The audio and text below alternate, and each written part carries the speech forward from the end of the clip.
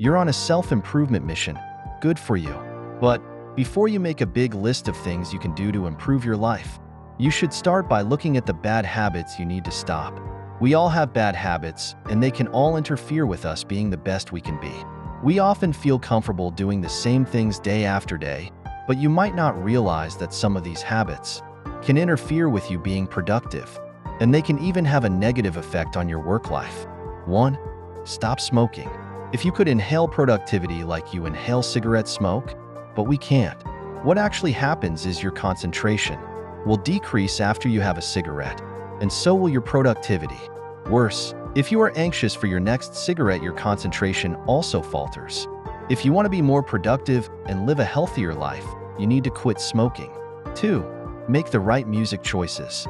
The music you would listen to during a workout is going to be much different than the music you listen to while you work.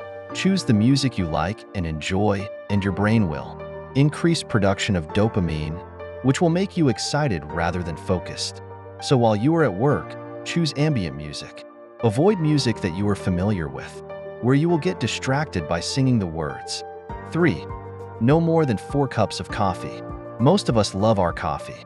When you know the right amounts of coffee to drink your brain will be stimulated by it, the areas of concentration, attention, and planning can benefit with approximately 400 milligrams or 4 cups of coffee a day.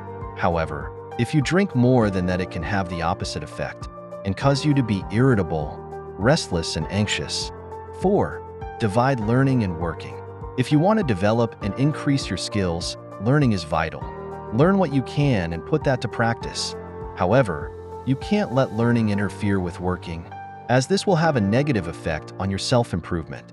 Instead, set aside times or days where learning will be your focus and then it will not interfere with your work.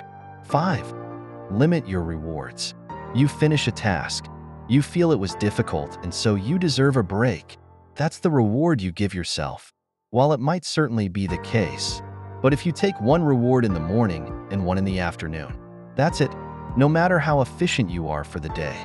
When you recognize your bad habits and turn them into good habits, you are well on your way to being more productive.